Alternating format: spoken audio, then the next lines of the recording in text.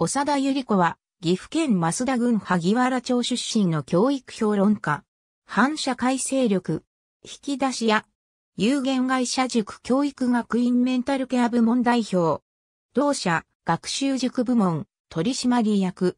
愛知県教育委員会、愛知の教育を考える懇談会委員、教師研修機関、埼玉市販塾特別講師を務める。NPO、家庭教育再生機構理事長。一般社団法人、日本家庭教育再生機構理事長、栃木市教育委員会特別講師でもある。愛知県各所に補習塾を置く、塾教育学院を経営する一方、同塾のメンタルケア部門の代表を務める。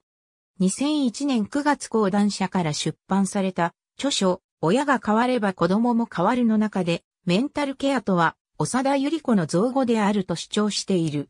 テレビ出演は CBC の夕方のニュースから始まり、フジテレビ、日本テレビ、テレビ朝日の夕方のニュースで、レギュラー出演を5年以上務めた。朝まで生テレビには出演多数。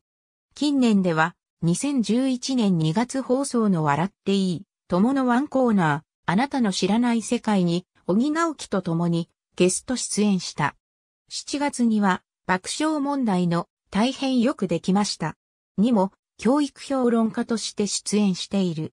また、教育委員会や学校関係者の依頼に応じて講演活動を行っている。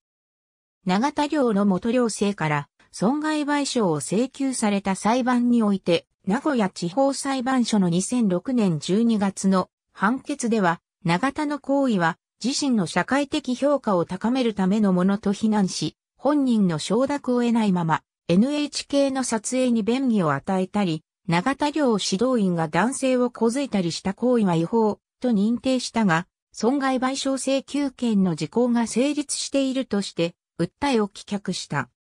その後、2007年9月の控訴審判決で、名古屋高等裁判所は、長田らの行為の違法性を改めて認定した上、一審判決を変更し、長田側に100万円の賠償を命じた。長田ゆり子公式 HP、長田ゆり子プロフィールハット ABC 日本家庭、教育機構 HP 理事長ご挨拶、長田ゆり子公式 HP 会社案内、読売新聞。長田塾南京訴訟、NHK、撮影便宜供与は、違法。2006年12月8日閲覧。毎日新聞。引きこもり支援施設、時効認めず賠償命令名古屋高裁。2007年9月30日閲覧。ありがとうございます。